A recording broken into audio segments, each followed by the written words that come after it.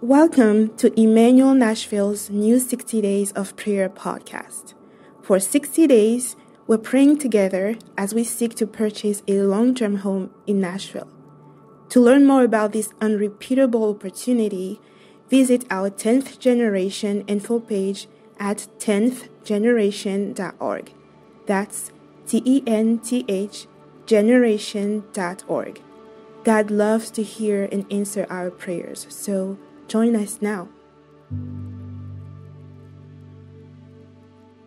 1 Timothy 6 6 through 8.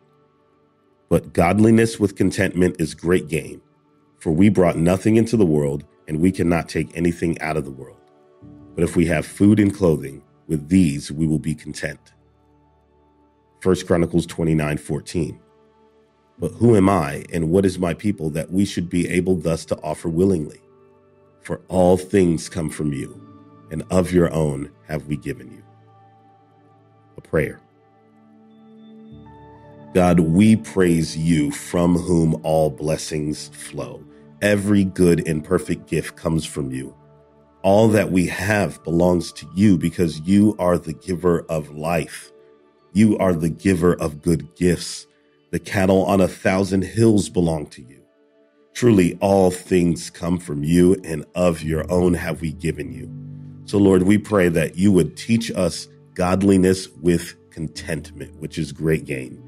And by contentment, we don't ask that we would be happy with the stuff you give us, but we ask that we would be satisfied in you.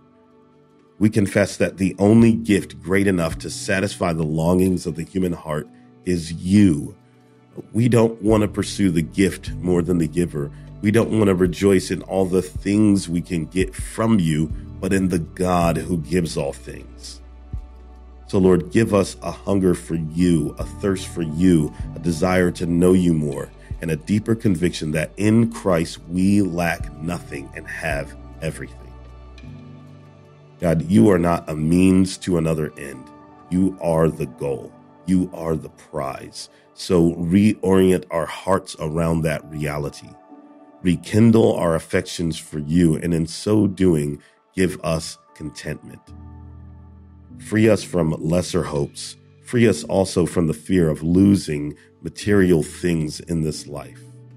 Who we are is not determined by what we have, and who we will be is not measured in the possessions that we take to the grave. The richest person in the world is the one who dies knowing you and being known by you. So we pray that we would enjoy more of you now and live in hope of your coming. We pray this in Jesus' name. Amen. You've been listening to 60 Days of Prayer, a resource provided by Immanuel Nashville.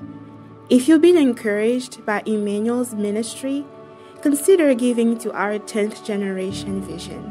Your generosity helps us continue making the real Jesus non ignorable in Nashville and far beyond.